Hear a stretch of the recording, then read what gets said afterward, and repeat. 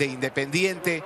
Lo más importante siempre es la conexión que tiene este cuadro en respeto. Poca distancia entre una línea y la otra. Y Barcelona levanta la cabeza, algún jugador. ¡Oh! Y no encuentra espacio roja para Roosevelt Oyola. Sí, sí, en estos momentos... Roja para Oyola y se complica todo. Va a sacar otra, va a sacar otra roja. Sí, parece que va a sacar otra. Porque se toma nuevamente el bolsillo Aro.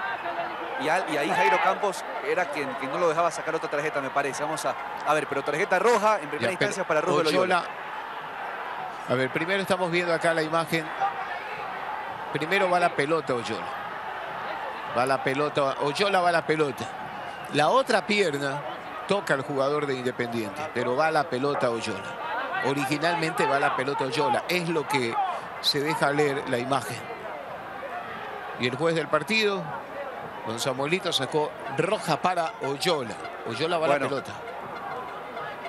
Amarilla para Risotto y acá también eh, lo que indican, ¿no? Arroyo que se acercó a, a Aro. Tenemos